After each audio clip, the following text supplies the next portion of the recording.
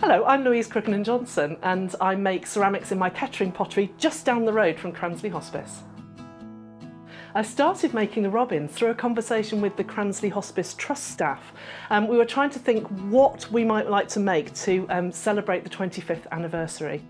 I came up with lots of different ideas and we worked through some different designs and eventually we came up with robins because of the robins appear when loved ones are near idea.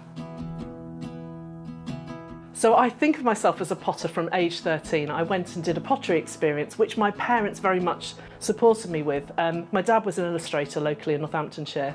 So I had the chance to go and do this pottery day. I absolutely loved it and everything about the day I remember. The smell of the clay, the feel of the space and yeah, it was where I started. And then I went on to do a degree in ceramics. So there are only 500 of the little birds. Um, they're each individually numbered, so they're a limited edition.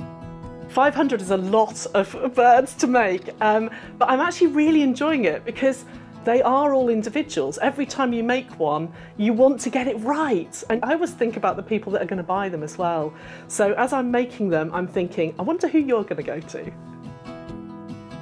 First of all, I start with a flat piece of clay and I use the cutters that have been designed for this particular process to cut them out and then I put the design onto the birds and then join them together. So they have the bird shape and then they have the little piece at the bottom which is where the stake sits into them. Um, they are dried really slowly. One of the things with pottery is you have to be very, very patient. They go into a firing at 1200 degrees which makes sure that they're frostproof.